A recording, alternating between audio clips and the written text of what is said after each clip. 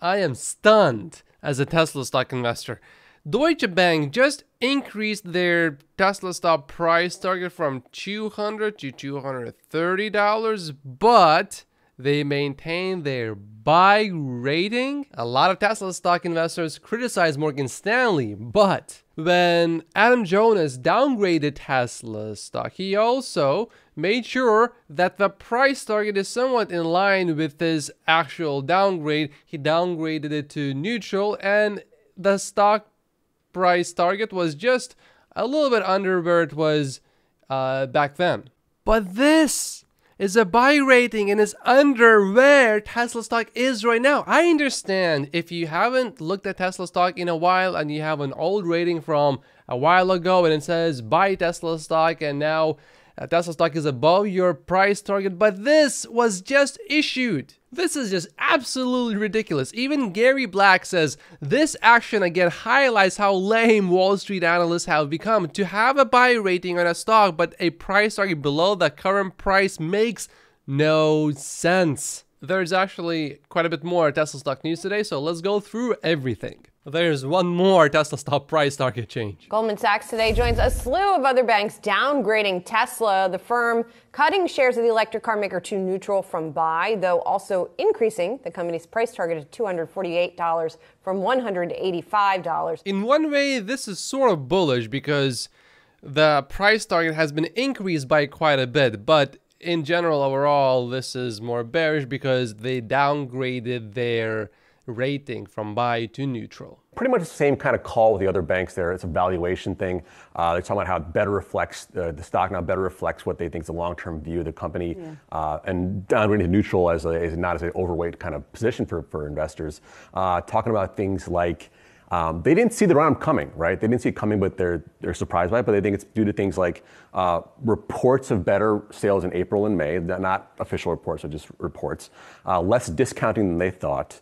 Uh, the Model three getting the full tax credit, the charging deals, and then of course the AI sort of frenzy. So all that sort of led to the stock a huge move for Tesla this year, uh, and last in, in particular last in last May. So kind of a big deal there. So they, they mentioned that, but also they said the company's still well positioned, and like you said, they hiked the price target. They're really sort of uh, behind there in terms of where the, t- the stock is right now, but uh, they also actually hiked their uh, estimates for next quarter too. So uh, there is that for that sort of uh, position move up higher. So Goldman Sachs surprised by all of these Tesla stock news. And you know what's going to happen in the long term as well? Goldman Sachs will be surprised many more times in the future, and eventually they will have to keep increasing their Tesla stock price targets because at some point Tesla stock will rally up way up. Most of them are raising their price targets. Right. Yeah. So they still expect the stock to, to perform be better. than they exactly. Yeah. But like you said, it's it's just following the train, right? you know, the stock starts shooting up. We got to we got to catch up. We got to catch yeah. up. It is not often that you will see the mainstream media calling out Wall Street analysts. It is somehow gratifying. But Goldman Sachs research report stunned me. This is a stunning day, truly.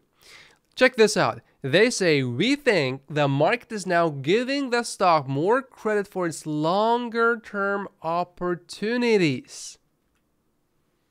Well, clearly, Goldman Sachs is not really doing that for Tesla stock. And so far, largely the stock market has not really been giving a long term view of Tesla stock. It has mostly been short term focus on the next quarter, the next year, maybe the next few years. And the market has largely ignored what Tesla could become in 2030, 2035, and beyond that. Until the market starts to price in full self driving, I don't think the market is really looking at Tesla long term. At least, certainly, it doesn't see the whole picture. It maybe is looking at the EV part of the business, and that's about it for the most part. We have some more interesting footage of the Cybertruck. Check this out.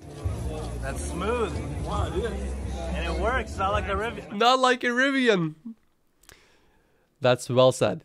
We got a few more pictures of the interior, and it looks pretty interesting a dog can definitely go through here. There's a lot of space here. And if you look closely, the seats do appear vented, which is something I love.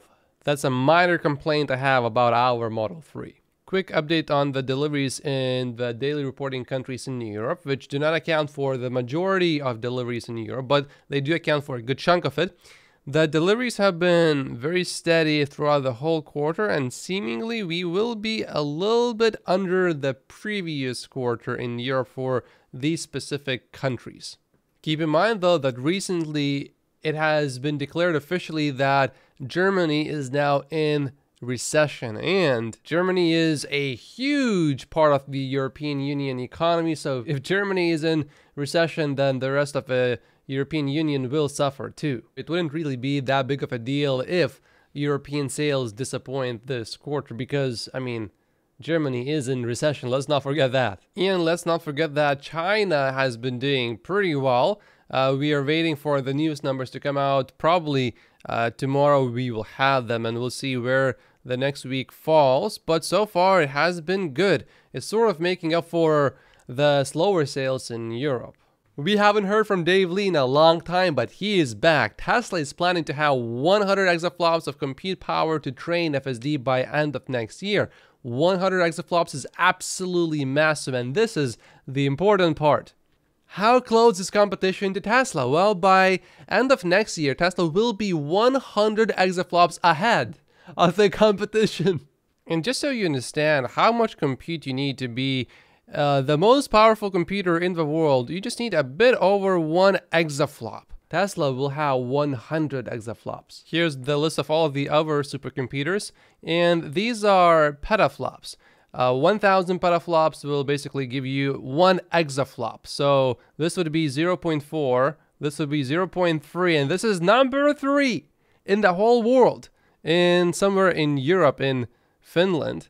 And the list goes down here and the computers get a lot weaker quickly. So this is sort of a big deal in terms of what Tesla is doing here. And James really likes this. He says this timeline would be very impressive. Full construction and operation starting in under 20 months from now. He's talking about Giga Mexico. We have this new rumor that says the Tesla Giga Mexico factory is scheduled to be completed and put into production in the first quarter of 2025. Tesla has synchronized the new timetable with component suppliers. These are Chinese suppliers who plan to go to Mexico. I translated that picture using auto translate and yeah, it looks like a lot of suppliers are going to China and that rumor I guess does certainly have some merit to it. Some people will certainly be disappointed because we had rumors that it would be uh, done much quicker. But I do want to also point out that perhaps this could be referring to volume production and not just a few vehicles being produced here and there. Not only do we need to build the factory, we also need to install all of the equipment. And remember, this is going to be the next generation vehicle, so things are going to be a little tricky we won't be able to just copy and paste a factory from someplace else. But it does seem to me that the government over there wants Tesla to come, so I don't think we should have any major issues with the government like we had in Germany. So it does appear that this should be largely within Tesla's control. I wouldn't rush to any conclusions in terms of how much time it is actually going to definitely take for Tesla to build this factory and start production at least probably until we get further and clearer confirmation from Tesla directly in terms of how long it is going to take for Tesla to build and finish this factory. And I found one more interesting picture of the Cybertruck. There's going to be a storage compartment right here. Pretty cool. Rob Maurer from Tesla Daily sometimes reports on what Wuwa uh, tweets and finds. And Wuwa tweeted, according to several Chinese media sources, the new Tesla Model 3 will be confirmed for release next month. Mass production will officially start in September and will launch volume deliveries in 2024. Now, something here does not fully add up. Maybe something got lost in translation. Um, how does mass production start in September, but then there are no volume deliveries for a few months? So something just seems a little off, maybe just a translation issue, but seems like we are going to hear something about this next month. So that sounds pretty cool. This is a bit weird. Aston Martin partners with Lucid Group for high performance EV production. The reason why it's weird is because Aston Martin is paying a lot of money for this. Gary says that Aston Martin last year delivered 6,400 vehicles, and they are paying 450 million dollars for this deal. In other words, Aston Martin is effectively paying $70,000 per car for Lucid's battery technology. I do agree with Gary that this seems a bit rich. In that $70,000 figure assumes that next year Aston Martin will deliver only EVs and no gas powered vehicles. Although Aston Martin investors do like this news, the stock is up about 10% today. YouTube wants you to watch this video next, but if you haven't finished watching this Elon Musk interview, you may want to watch this one first. My name is Matt Pocius. Like and subscribe if you haven't yet, and I will see you in the next video. Thank you so much for watching.